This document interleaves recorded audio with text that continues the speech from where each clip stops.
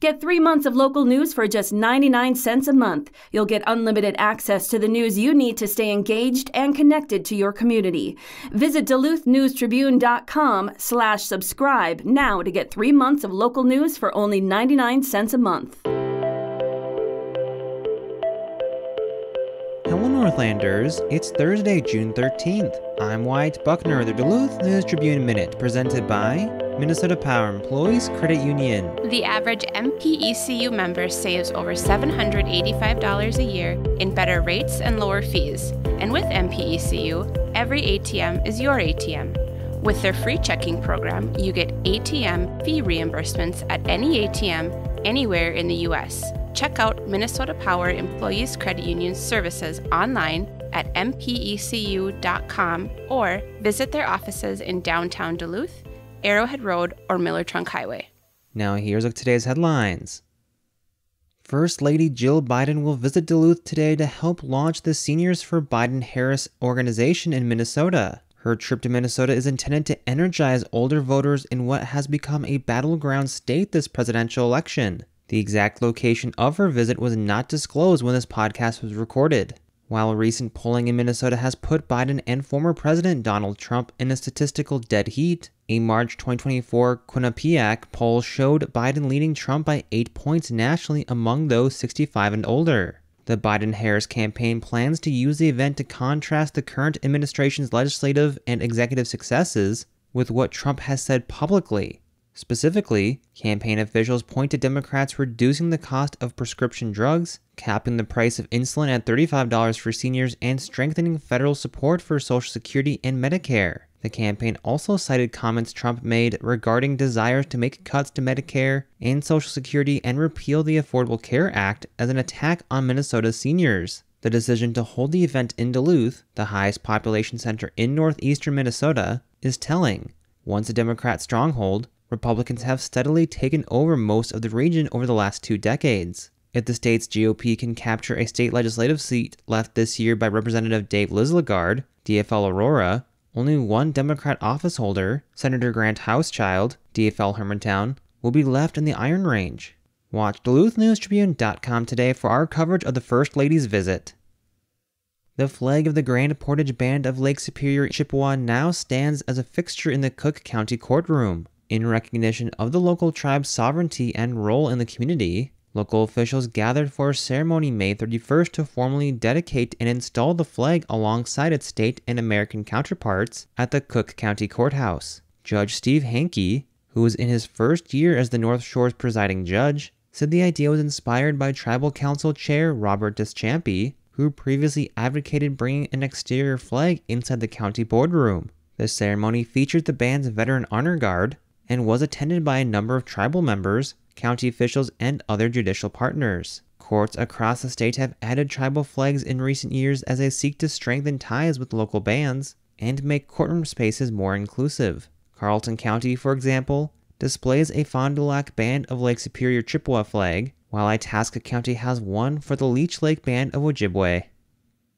It's time now for this week's Business Beat with Duluth News Tribune business reporter Brielle Bredsten. Flag raising at the range. A flag raising ceremony will be taking place this Saturday, June 15th at 1 p.m. at Forgotten Heroes Ranges and Retreat in McGregor. The 934th Air Force Civil Engineer Reserve Unit will conduct the official presentation and raising of the flags, which were flown over the nation and state capitals in honor of the organization. The event will also feature a civilian flyover silent auction, merchandise sales, and planting of the first memorial tree. The range, located at 23796 450th Street, is anticipated to open this fall, followed by a campground next year. The property will feature a completely handicap accessible outdoor rifle, pistol, and archery range, a veterans and community center, paths, ponds, and a campground with fire pits. All disabled veterans or individuals their families and caretakers, as well as law enforcement and first responders, will have access to the facilities free of charge. More information is available at forgottenheroesmn.org. Juneteenth celebration. The 50th annual Juneteenth Jamboree celebration by the National Association for Advancement of Colored Peoples branch in Duluth is set for Wednesday, June 19th from 3 to 7 p.m. at the Central Hillside Community Center. The nationally recognized holiday commemorates the abolition of slavery in 1865. Organizers say this year's event will be their biggest yet. Over 40 vendors, including many local Black, Indigenous, and people of color business owners, will be selling their goods and services. There will also be giveaways. Free dinner will be provided by Howard's Q's, Pizza Luce, and room at the table, as well as grilled burgers. The family friendly event has a variety of activities, including an obstacle course, bounce house, face painting, a photo booth, and more. Maurices will also be giving away free clothing, and free haircuts are also available. Two scoops, please. Crank and Dasher has plans to open its second ice cream shop in Duluth this July. It'll be located next to Amity Coffee on Superior Street in East Duluth. There will be special events and promotions throughout the opening month. Crank and Dasher's first location at Fitgers is situated near the Lake Walk, and its products are also sold at local grocery stores like Mount Royal. The local business also recently expanded into the Twin Cities market through a partnership with Kowalski's Markets. The new shop will serve a rotation of ice cream flavors made of farm sourced ingredients, including cream from Forest Lake based Autumnwood Family Farm as well as vegan options and items from their confectionery line. I'm Brielle Bredsten. Send some more business tips to me at bbredsten at duluthnews.com.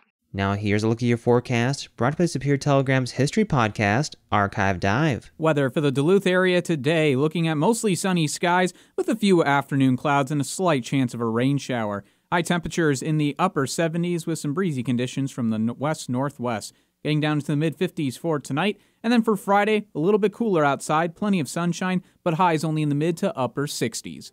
I'm Storm Tracker meteorologist Robert Pointer. Thank you to Archive Dive for their support. The monthly history podcast, hosted by Superior Telegram reporter Maria Lockwood, dips into the archives of historic events, people, and places around Superior and Douglas County.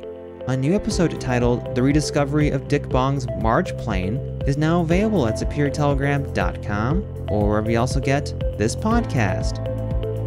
Reporting for today's episode was done by Mark Wasson, Tom Olson, and Brielle Bredsten. Thank you for listening to Duluth News Tribune Minute. Have a great day, and we'll see you back here tomorrow.